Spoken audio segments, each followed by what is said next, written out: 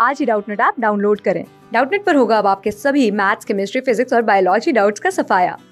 बस अपने क्वेश्चन की फ़ोटो खींचो, उसे क्रॉप करो और तुरंत वीडियो सोल्यूशन पाओ। Download now. Name the smallest unit of life smallest unit of life को हम क्या बोलते हैं? स्मॉलेस्ट यूनिट का क्या मतलब होता है कि लाइफ सबसे स्मॉलेस्ट यूनिट में कहाँ पे एग्जिस्ट करती है? तो वो सेल्स में एग्जिस्ट करती है। सेल्स को ही बोला जाता है smallest unit of life cells ऐसे स्ट्रक्चर होते हैं जिनको बोला जाता है basic structural structural functional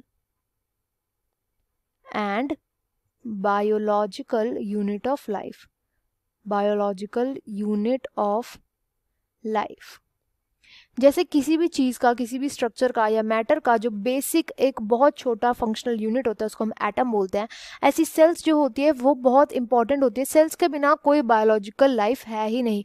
life का पर्पस ही नहीं है बिना सेल के।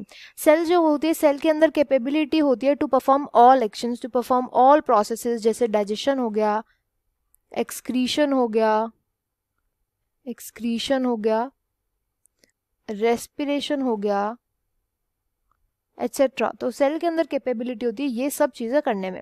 अब सेल्स के भी डिफरेंट टाइप्स होते हैं टाइप ऑफ़ सेल कैसी होती है? तो प्रोकैरियोटिक सेल जो सिंपल सेल्स होती है, उनको प्रोकैरियोटिक बोलते हैं। ज़्यादा एडवांस सेल जो होती है, वो होते हैं यूकैरियोटिक सेल जिनके अंदर कॉम्प्लेक्स ऑर्गेनल्स प्रेजेंट होते हैं।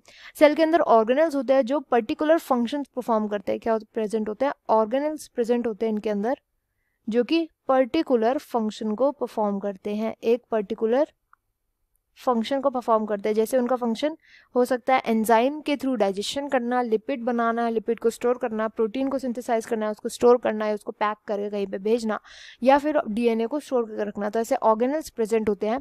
अब इन्हीं सब, इसी को क्या बोलते हैं? स्मॉलेस्ट यूनिट ऑफ़ लाइफ को बोलते हैं सेल्स क्लास सिक्स से से लेके NEET I I T JEE Mains और एडवांस के लेवल तक।